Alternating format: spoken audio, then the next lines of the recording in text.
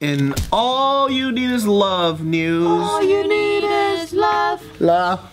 Submitted by Me Costa. You lie. The FDA sent a warning letter to a bakery after they included love in their ingredient list. I get it. They're like, excuse me, um, love is not the ingredient. You're trying to be creative, but don't fuck with me. Dude. They're being a little bit too hipstery, maybe. Yeah, let's stop that. Yeah. Because love could mean drugs. I always say that when things are cooked with love, it tastes better and you can taste the Yeah. love. Where can you buy this love? You have to find it in your heart. It's an energy. I'll give you evidence, all right? Eat David's cooking and then go to one of the cafes here and eat their cooking. But his cooking makes me want to throw up all the time. Really? That's funny because you ate my food twice. And I threw it up. No, you three ate times. his Korean food. You loved it so much. You- uh, you wanted all his recipes. You wanted him to come back. I was being said. polite because my mom was there. She taught me better. But Really? Because I have a picture in my phone where she's. you're not supposed to have your phone.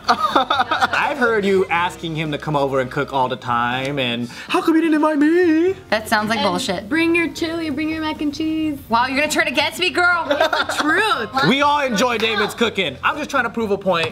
When food is made from love, Mm-hmm. it tastes 10 times better than an angry Chinese cook that just lost his gambling money. I have I have Sometimes a that stuff then. tastes kind of good too.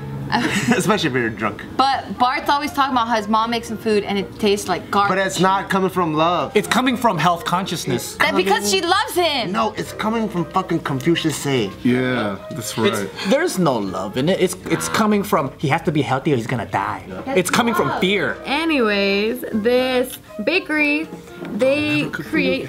No, I like it. I'm kidding. You all heard it, folks. Jill was lying. I'm a fucking lawyer. So this bakery is called Nashoba Brook Bakery, and it's based in Massachusetts. So the FDA went over there and they were inspecting, and apparently there were some unsanitary things happening there, so they had to fix that.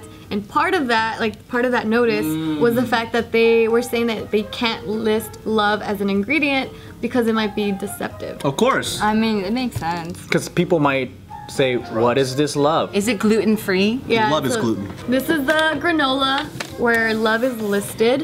So this is what it looks like, and then this is the ingredients. So they didn't pass the health and safety? So I guess they gave them a warning to fix all of the things that they needed to fix, and one of them was the fact that they have love in the ingredient. Yeah, because It's not organic. when people do that, they put it's a tagline versus an actual ingredient. Yeah, it makes sense. That could be cum for all we know. Because it is called a love juice. And the granola is sticky. I was gonna say it's a rat shit. Red shit. That's love. no, because I imagine the FDA coming in going, okay, you got a rodents, you got cockroach, you got, and then, what is this? Love?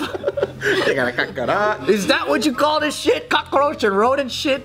Love? Oh yeah, because there's a certain amount that's allowed, right? Yeah. Oh, that's a bummer. It's a I know, nominal it's so amount, gross. but it's for a huge batch of cereal, and they say like there's an acceptable amount of point whatever percent in that to be rat shit, but it's dissipated over like hundred thousand pounds of cereal. If I don't see it and I'm not fucking vomiting out of my butthole, I Then guess I'm alright. Yeah. Ever since you guys had Taika, do you guys still go out to eat? No.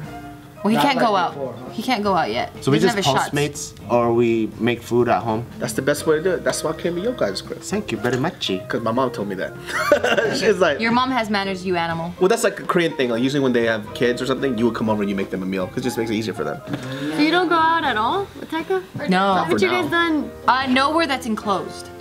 Oh, but we don't eat out though. Yeah. Oh, okay. And- Then it just the- houses like germs and a bunch of people that are sick. Like if it, everyone's congregating in one spot, that's why we just go out to open like fields and Yeah. They always say you don't take your kids unless they need to go, because then people in the waiting room or to the doctor. Sorry, no, don't take the sorry, don't take your kids to the doctor unless they really have to go. Yeah, they say you can't go to enclosed public spaces.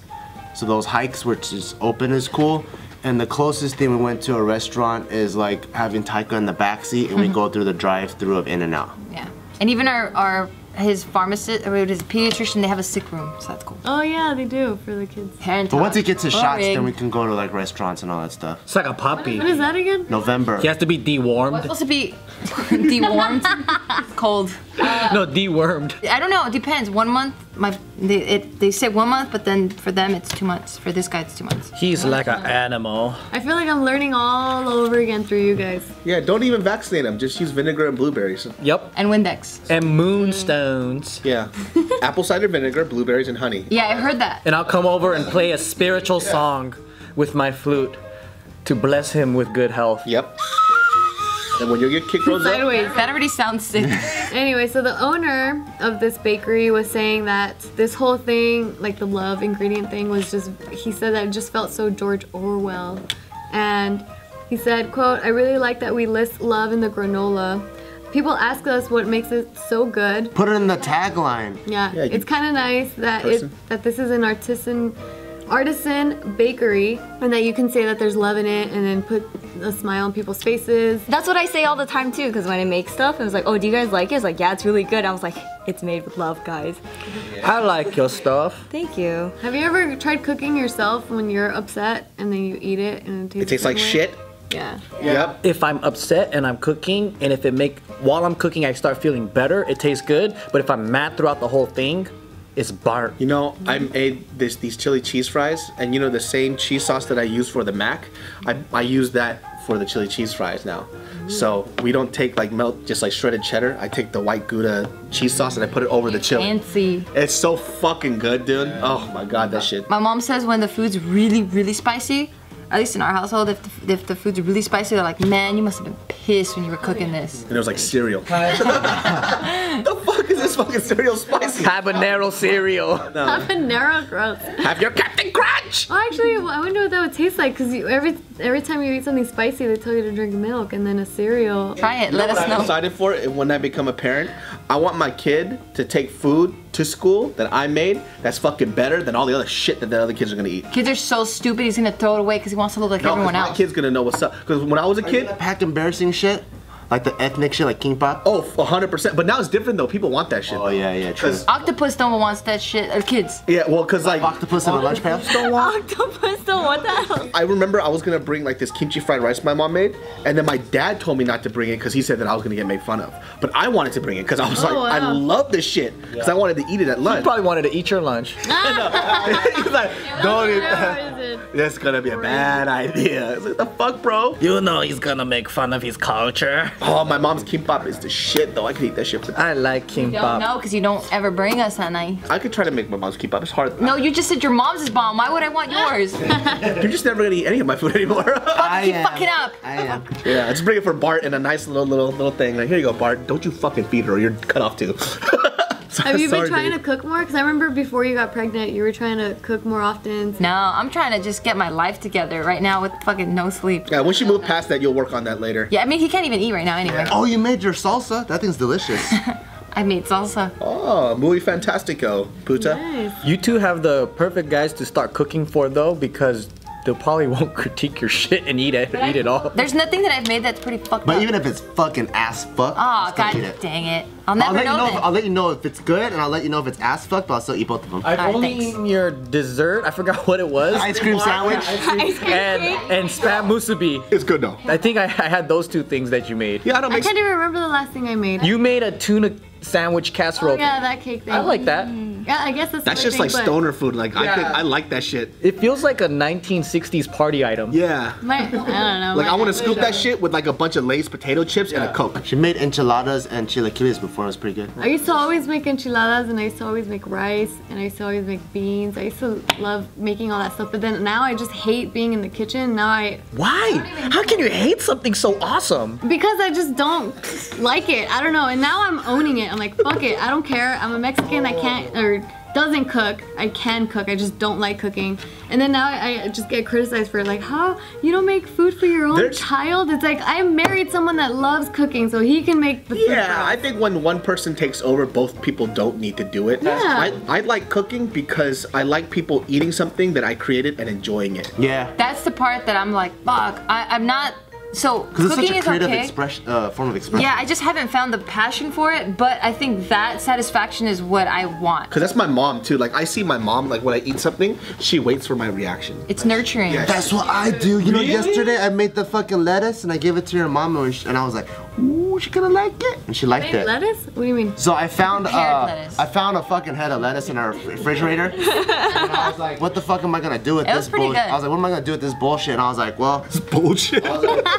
and I, and I needed some greens because I'm trying to get greens and fiber. So I took it and then I chopped up some garlic, threw some olive oil and then some sesame oil and like salt, pepper, whatever. And I just seasoned it, and then it came out pretty good. Wait, you mean you stir fried lettuce or you made lettuce wraps? No, I stir fried the like Oh. romaine lettuce, but I never did that before. I, I treated it like it was like Chinese greens of some sort. That's interesting. Like, That's good. I was like, what the fuck am I gonna do with this bullshit? And tried it. Yeah, I cook because I want something like a flavor, but I can't get it at a store. And I think of the flavor. I think for me, the reason why I don't like cooking or just food in general is that I never really have much of a appetite. Like I know I get hungry, but it's not like I generally crave for certain things. It has to please you like it's a drug. When you smell it, when you put it in your mouth, all that stuff, and then you go, ah, and you melt. I feel like I can enjoy that, but I don't feel that all the time, and it's like very rare. It's very like also too like if you like cooking too, it's it's fun because you get to try new things. Like when I made them dinner, he was on macros, so I flipped what I was gonna make, and then I had to think about okay, well, how can I create something with low fat, high protein that's still Korean? And so I did Korean wraps, but then I didn't do brisket and I didn't do pork belly. I did uh, New York strip and I did pork loin instead. So it's like literally a third of the fat, you know. So it was like a different. So it's fun and exciting, you know. It's probably like we we've been doing it since we were little, like helping our moms in the kitchen and all that. See, my mom never cooked. It's kind of like that, yeah. And then I remember I would get rice and put butter and soy sauce and mix that shit and feed my grandma in the morning because she would feed me that shit. Do butter, soy sauce, and a fried egg, and you mix that shit. And the oh. Korean seaweed. Oh yeah, and then you get the Korean seaweed and you put that with a piece of kimchi in there. Wow, fucking good. Hey guys, thanks for watching the last episode. Did you love it? I know you did. But guess what? You can also follow us on our personal social media accounts with the links in the description box below. So go follow all of us. Now, to watch more videos, check them out up there.